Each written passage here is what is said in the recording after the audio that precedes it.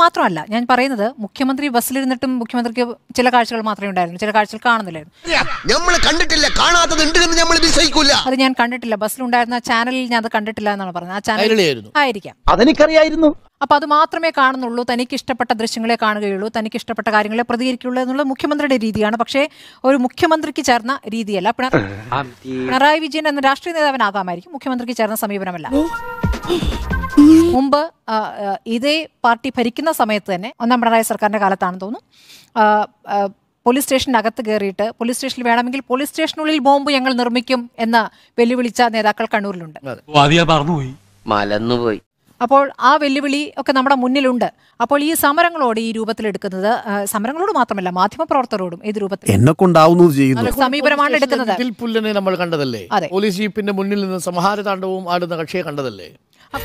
ഞാനൊരു സത്യം പറഞ്ഞ പുകഴത്തിലാണെന്ന് വിചാരിക്കരുത്. വിചാരിക്കുകയും ബി ജെ പിയുടെ രീതികളെയും ഒക്കെ പരിഹസിക്കുമ്പോൾ അല്ലെങ്കിൽ വിമർശിക്കുമ്പോൾ അതേ രൂപത്തിൽ ഇവിടെ പ്രവർത്തിക്കുകയാണ് ഈ ഇടത് സർക്കാർ. അപ്പൊ അപ്പൊ അതിനെ എങ്ങനെ വിശദീകരിക്കും എന്നുള്ള ഒരു പ്രധാനപ്പെട്ട കാര്യമാണ്. കലാപാഹ്വാനമല്ല ഒരു പ്രതിഷേധം. പ്രതിഷേധിക്കാനുള്ള അവകാശം ഇവിടെ എല്ലാവർക്കും ഉണ്ട്. അത്താണ് കേരള സദസ് ഇന്ന് യാത്ര അവസാനിച്ചു. നൂറ്റി നാൽപ്പത് മണ്ഡലങ്ങളിൽ രക്ഷാപ്രവർത്തനവും തൽക്കാലം. രക്ഷാപ്രവർത്തനവും തൽക്കാലം അവസാനിച്ചു. ശരിക്കും ആക്കുകയാണോ വീണ്ടും ഒരിക്കൽ കൂടി വരാം. മെയിൻ എഡിറ്റേഴ്സ് ഇന്നിവിടെ പൂർണമാവുകയാണ്. എല്ലാ പ്രേക്ഷകർക്കും ശുഭരാത്രി. അല്ല നാമം എന്താണെന്നും ഉണ്ടായിരിക്കുന്നത്? ഒരു മിനിറ്റ് എന്തോ പറയാൻ മറന്നു. ആ എല്ലാവരും വന്നേ എന്നാ വന്നേ. അതെ. വോട്ട് വായിച്ചില്ല. ആ പ്രതിഷേധം കലാപാഹ്വാനമോ എന്ന ചോദ്യത്തിന്റെ വോട്ട് യെസ് എന്ന് വൺ ഞാൻ. കലാപാഹ്വാനം അല്ല കലാപ അതെ എന്താ കുഴപ്പം? അല്ല അവന് ബോധം പണ്ടേ ഇല്ല. അത് കാര്യം വെക്കണ്ട വിട്ടേക്ക്. ഇല്ല ഈ മനുഷ്യന്? ഇനിയെങ്കിലും ഈ പണി നിർത്തിക്കൂടെന്ന്. തെറ്റിപ്പോയോ? ഏതാണ്? ഈ തെരഞ്ഞെടുപ്പ് വോട്ടിംഗ് മെഷീനെ കുറ്റം പറഞ്ഞ കക്ഷിയാ. എന്നെ ഭ്രാന്ത് പിടിപ്പിക്കരുത്. നിങ്ങൾക്ക് ഇപ്പൊ തന്നെ കുറേശ്ശെ ഭ്രാന്തുണ്ട്. വോട്ട് ചെയ്യാൻ അറിയാത്തതാണ്. ആക്ച്വലി എന്താ വോട്ട് ചെയ്യാൻ അറിയില്ല. വോട്ടിംഗ് മെഷീനെ കുറ്റം വോട്ടിംഗ് മെഷീനെ എന്നുള്ളതാണ്. കുറ്റം പറയരുത് കലാപാഹ്വാനമോ കലാപാഹ്വാനമല്ല. അല്ല. അല്ല? വെറുതെ കിടന്ന് ഉരുളാദാശനെ. കലാപാഹ്വാനമാണെന്നാണ് എന്റെ അഭിപ്രായം. ആ, എന്റെ അഭിപ്രായം. അവിടെ പോലീസ് സ്റ്റേഷൻ കത്തിക്കുന്നു പറഞ്ഞാൽ കലാപാഹ്വാനല്ലേ അങ്ങനെയാണെങ്കിൽ നിങ്ങൾ ചോരച്ചാലുകൾ പറയുന്നത് എന്താ നിന്റെ ഉദ്ദേശം? നമുക്കൊരു ഏരയാണ് വീണ് കിട്ടിയിരിക്കുന്നത്. നമുക്കിത് വെച്ചൊന്ന് മൂപ്പിക്കാം. ഇതൊക്കെ വിളിച്ചിട്ടുള്ളത് വേണമെങ്കിൽ പോലീസ് സ്റ്റേഷനിൽ ഞങ്ങൾ ബോംബുണ്ടാക്കും. പോലീസ് സ്റ്റേഷൻ എനിക്ക് എനിക്ക് ആ, ഞാൻ- ഞാൻ- അങ്ങനെയല്ല. നിങ്ങൾ. ഇട്ടാൽ ബർബുട്ട ഞങ്ങൾ ഇട്ടാൽ വള്ളിക്കളഫ്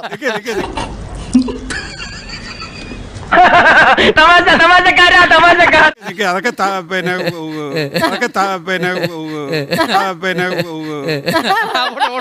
അതല്ല ഉദ്ദ- ഉദ്ദേശം ഞാൻ മാറി ചില പിന്നെ ചൂടാണ്ട് എ സി ഒന്നും ഇല്ല അത് ഞാൻ പറയുന്നത് കലാപാഹ്വാനമാണോ എന്ന് കലാപാ എന്റെ വോട്ട് എനിക്ക് വിടുന്നേ അല്ല വോട്ട് വിടാം പക്ഷെ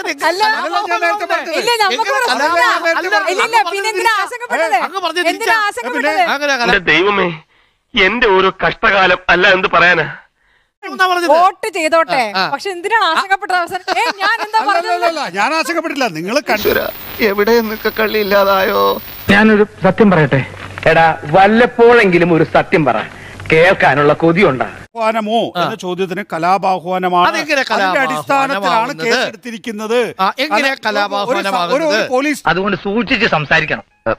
If, if someone intentionally provokes another person in a way that may lead to a riot, they can be punished with a That may lead to one to one to don't do one, one year in jail, a fine, or both if a riot occurs. And If a riot occurs. നോക്കൂ six months in jail. fine പിന്നെ riot occurs leading to riot വിശദീകരിച്ച പോലെ കണ്ടില്ലല്ലോ ബുദ്ധിയില്ലാത്തൊരു മനുഷ്യൻ എങ്ങനെ പഠിപ്പിച്ചെടുക്കാനാ fifty three ഈ രണ്ടും ഇല്ലല്ലോ എന്ന് വെച്ചാൽ ഈ ഈ പറയുന്ന കലാപം ആഹ്വാനം ചെയ്ത് കഴിഞ്ഞിട്ടുണ്ട്. കലാപം. കലാപം. കലാപം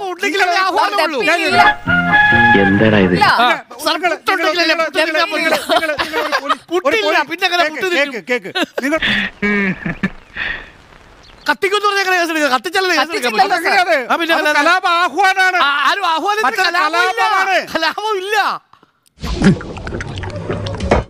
ഇത് കലാപല്ല സമാധാനത്തോടെ വേറെ സാറി നോക്കൂ അവർ സമാധാനത്തോടു കൂടി കുത്തിയിരിക്കലായി സമാധാനം പിന്നെ വെറുതെ അതും പറഞ്ഞു ഒഴിയാൻ നിൽക്കണ്ട. എന്ന് അറിഞ്ഞേ തീരൂ. ഇയാൾക്ക് പറഞ്ഞാൽ മനസ്സിലാവില്ലേ? കേസെടുക്കലാണ് നിവൃത്തി. അതും? കോടിയേരി? ബാലകൃഷ്ണൻ പോലീസ് സ്റ്റേഷൻ എന്താണ് മുന്നിൽ വെച്ച് പ്രസംഗിച്ചാണ് അന്ന് കേസെടുത്തില്ലല്ലോ? കേസെടുത്തില്ല കേസെടുത്തില്ല. വേറെ. വകുപ്പായിരിക്കും. മരുന്നിന് ഏതെങ്കിലും കേസായിരിക്കും. ആണോ എന്ന് ചെറിയ. പനിക്കുള്ള ഒരു വകുപ്പ് പനി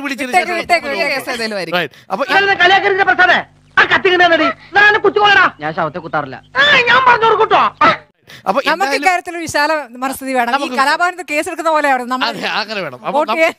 പ്രഭാകര ആ പഴയ പ്രഭാകരൻ തന്നെയാണോ ഈ സംസാരിക്കുന്നത്? ആ സൗഹൃദമൊക്കെ താൻ ഇത്ര പെട്ടെന്ന് മറന്നോ? പഴയ കാര്യങ്ങളൊന്നും പറഞ്ഞ് നേരം കളയണ്ട. ആ വിഷയത്തിൽ ഒരു നമ്മ- നമ്മുടെ വോട്ടിംഗ് യന്ത്രം കൃത്യമായി പ്രവർത്തിച്ചു. നമ്മുടെ വോട്ടിംഗ് യന്ത്രം കൃത്യമായി പ്രവർത്തിച്ചു എന്നതിന്റെ സൂചനയാണ് എന്റെ വോട്ടിംഗ് യന്ത്രം അപ്പൊ നോക്കൂ. ഒട്ടും കൃത്രിമമല്ല. അപ്പൊ ഒരു കാ- ഭയങ്കരം തന്നെ. ഒരു കാര്യം ഒരു ഒരു എന്റെ കാര്യം വോട്ടിംഗ് യന്ത്രം ഒട്ടും കൃത്രിമമല്ല. പക്ഷേ- ബി ജെ പിക്കാർ ഈ രാജ്യത്ത് പക്ഷേ പോലെ എന്താണ്? ഒരു കൃത്രിമവും എന്റെ പക്ഷേ വോട്ടിംഗ് പക്ഷേ മെഷീനിൽ ഞാനില്ല. പക്ഷേ എം വി നികേഷ് കുമാർ സൂക്ഷിച്ച് സംസാരിക്കണം. ഇന്ത്യയിൽ സംഭവിക്കുന്നത് എന്താണെന്ന് മനസ്സിലായല്ലോ? വോട്ടിംഗ് യന്ത്രത്തിനല്ല പ്രശ്നം ചെയ്യുന്നവർക്കാണ് പ്രശ്നം. വോട്ടിംഗ് യന്ത്രത്തിനെ കുറിച്ച് ഒരു ചർച്ചക്കുണ്ടോ? ഞാൻ. ഞാനും അടുത്ത- ദിവസം ഇയാൾ ഉരുളക്കുപ്പേരി കോളേജിൽ നിന്ന് ഡിഗ്രി എടുത്ത് വന്നിരിക്കുകയാണ്. ഒരു തർക്കക്കാരൻ. ഞാൻ എന്തിനാ വന്നിരിക്കുന്നത് തനിക്ക് അറിയണോ? അറിയണോ രണ്ടായിരത്തി ഇരുപത്തി ലോക്സഭാ തെരഞ്ഞെടുപ്പ് കഴിയുന്ന ദിവസം ഈ രാജ്യത്ത് നടക്കാൻ പോകുന്ന ഏറ്റവും പ്രധാനപ്പെട്ട ചർച്ച അതായിരിക്കും. അപ്പൊ കേരളത്തിലോ? ഏഹ് ആ. പ്രത്യേകിച്ച് വോട്ടിംഗ് മെഷീനോ? കേരളത്തിൽ. പറ്റില്ല. അവരുടെ പാടായി. അവരെന്തെങ്കിലും ചെയ്യട്ടെ? കേരളത്തിൽ